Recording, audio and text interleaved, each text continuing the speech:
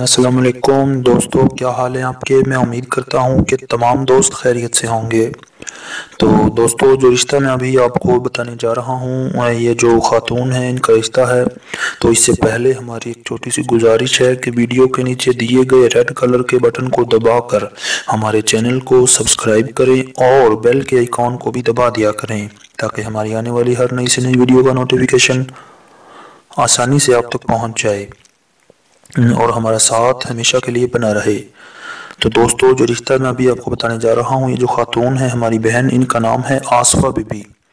तो आसफा जो है, इनकी उम्र है ट्वेंटी एट ईयर्स अट्ठाईस बरस। यानी कि अभी काफ़ी यंग हैं, खूबसूरत हैं, सलीम हैं, लेकिन बदकिस्मती देखें कि इस उम्र में ये एक जो है, तलाक याफ्ता लड़की हैं, इनकी तलाक हो गई है।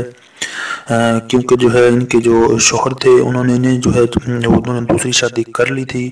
शादी ने इन्हें, शादी के बाद पता चला कि उनकी जो है पहले से शादीशुदा हैं वो तो इसलिए जो है इन्होंने उनसे अलहदगी इख्तियार कर ली।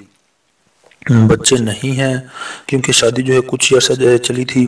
इसके अलावा ये जो आसवा बीबी हैं, पढ़ी लिखी हैं, इनकी तालीम बी ए है यानी कि चौदह जमात पास हैं।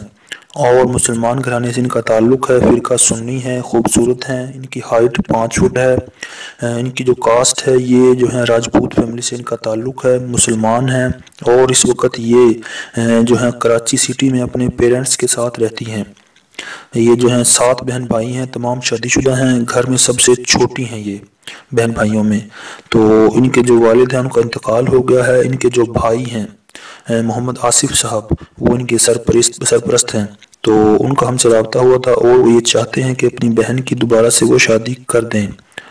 तो वो हमारे दोस्त मर्द हजरात, जिनकी उम्र जो है वो चालीस बरस तक हो और पहली या दूसरी शादी करना चाहते हों, अच्छे ख़ानदान से हों या अच्छी फैमिली से हों तो वो जो है इनसे रबता कर सकते हैं।